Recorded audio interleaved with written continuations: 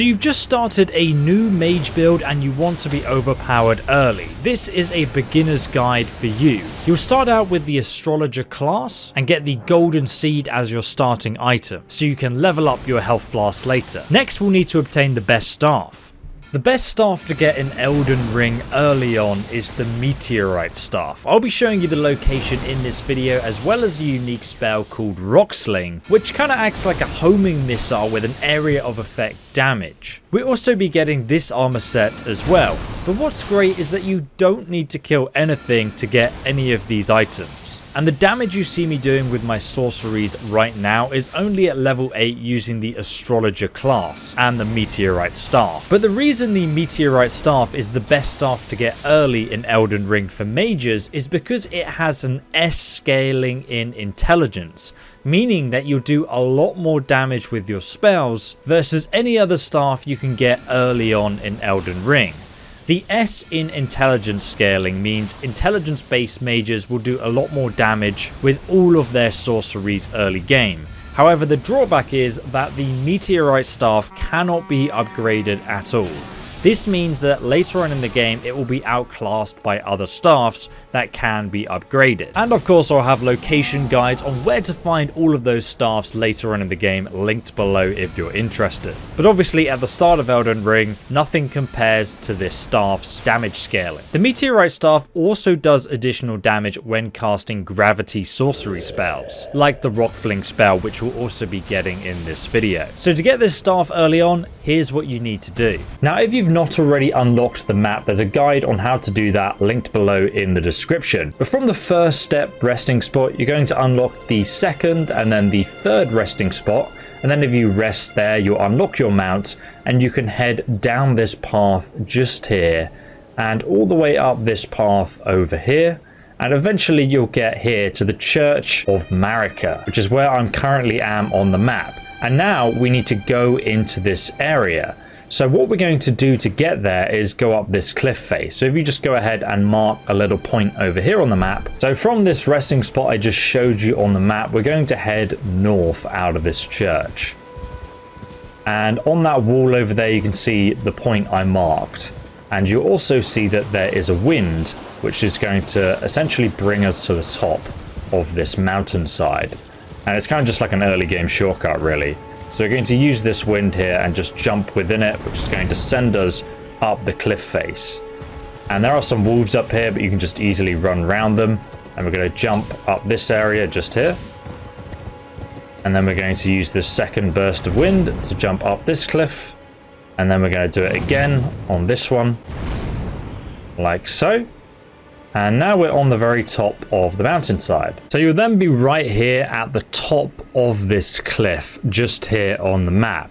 Now what we're going to do is we're going to come north to this path and we're going to follow it all the way around and you'll come up to this first resting spot just over here.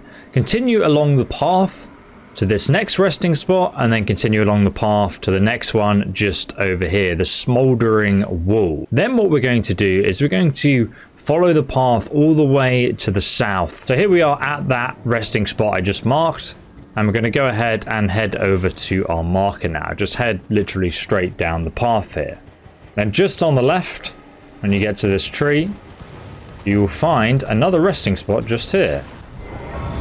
You can see we're now just here on the map. Now, if you look at where this golden line is directing us, we're literally just going to head directly east from this resting point and then that's going to take us to the lake. You can see the resting point in the distance just down here.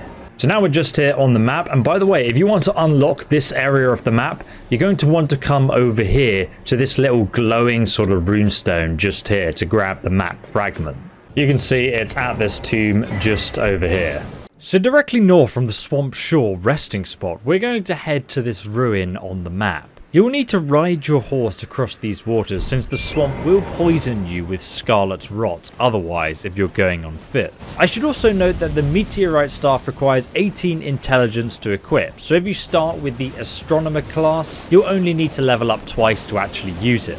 So head directly north into this first room where you'll find the Traveler's Armor set just here in the corner which you don't actually need but you may as well get while you're here. It also comes with a perfume bottle which has many other uses.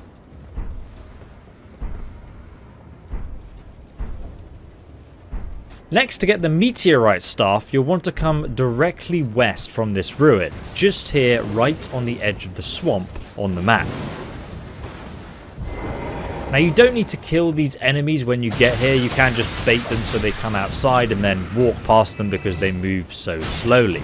Then you can pick up the meteorite staff from this body bent over the window here. Next though, we're going to be getting the rock sling sorcery. To get this, mount up and head directly east back to the other ruin. Once there, you're going to want to turn and head north towards this abandoned ruined church. Ignore the enemies here and just head straight down the hidden tunnel. Run along to the bottom and open up the entrance, and inside you'll find a chest which has the rock sling spell within. You can either fight your way out or die at this point because you've got everything you need from the location. However, before you go, I suggest fast travelling back to the starting area to the Church of Elleh here on the map, where you first meet the merchant. Once you port back, you'll find Renna waiting for you. Tell her that you are Torrent, the horse's new owner, and she'll give you the Spirit Calling Bell and the Lone Wolf Ashes summon ability. These wolves don't do a lot of damage in fights, but they are one of the best summons in the game for distracting enemies since there are multiple of them. Essentially how bosses will usually work with these wolves is once one of the wolves attacks them, the boss will then aggro that wolf. If you then attack them, they'll try and aggro you, and you'll have to wait for the wolf to attack them again so the wolves can take aggro. But they're fantastic for solo players who need to keep the heat off them. But just to demonstrate how powerful we are, we are only level 8 on the astrologer class now, having put an additional 2 points into intelligence so we can equip the meteorite staff. And we absolutely destroy this boss with absolutely zero effort required. But next we're going to be getting even more powerful spells, weapons and robes. So check out the next guide, linked down below in description, to carry on creating the most powerful mage build in Elden Ring. And do subscribe if you find this series series helpful.